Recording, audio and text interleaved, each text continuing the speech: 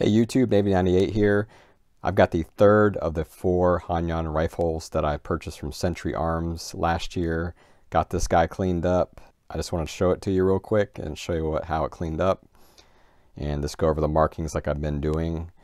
So this one cleaned up beautifully. The stock uh, is just gorgeous on this guy.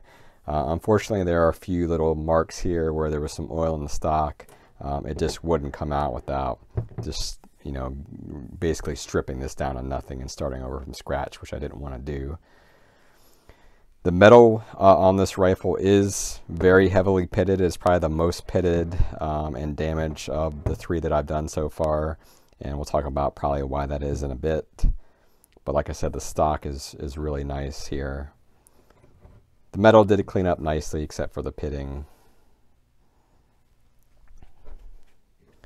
So starting off at the butt here, uh, really have, have a really nice marking here on the buttstock. I'll throw up a quick graphic on what I was able to determine that this means. I'm not even going to attempt to pronounce it uh, and make a fool of myself. So you can see what that means there.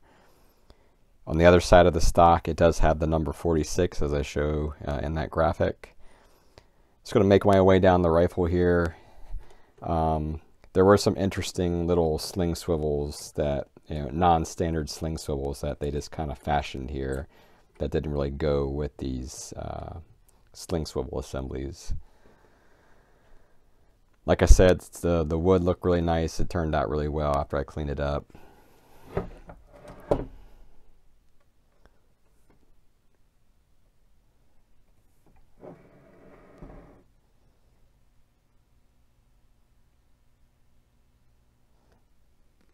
Go ahead and flip it around.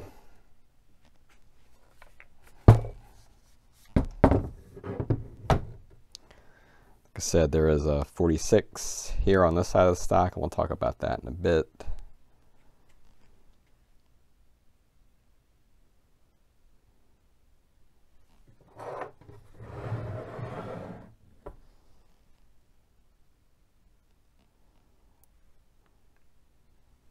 So really happy with how this one cleaned up.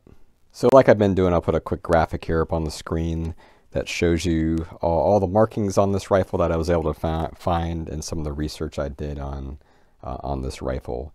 Of the three Hanyang rifles that I've done so far, uh, this one has been the most matching as far as components.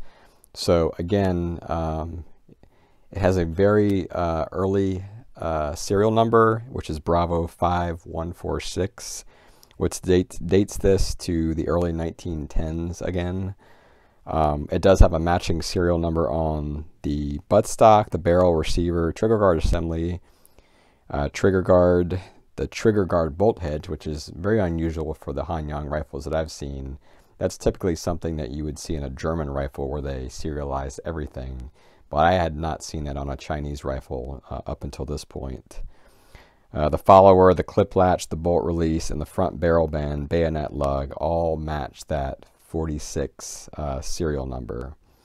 Some of the other markings that are on here, um, the five-point star on the firing pin nut, uh, and it's an early type uh, firing pin nut without the, um, the gas block that you've seen in the later style.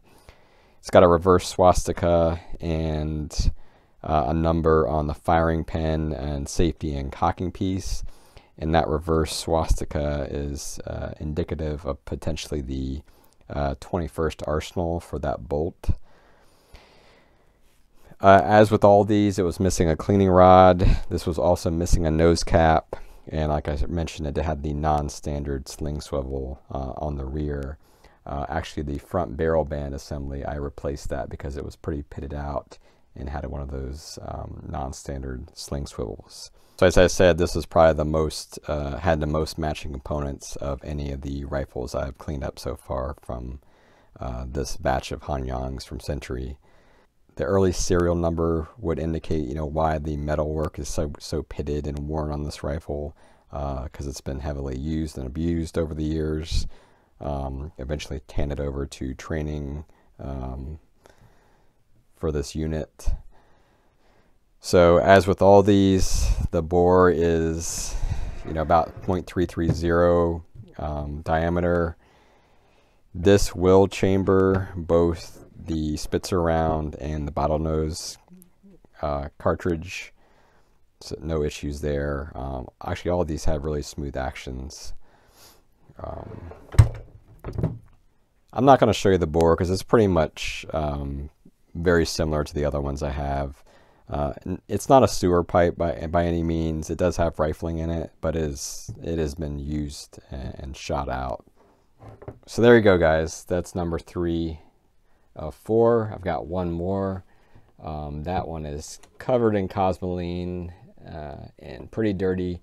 So it's going to take me a while to get all that cleaned up, especially in this cold weather that we're in the middle of right now but I will get that posted soon. And then, like I said, I will move on to the next set of, next set of projects uh, in my collection.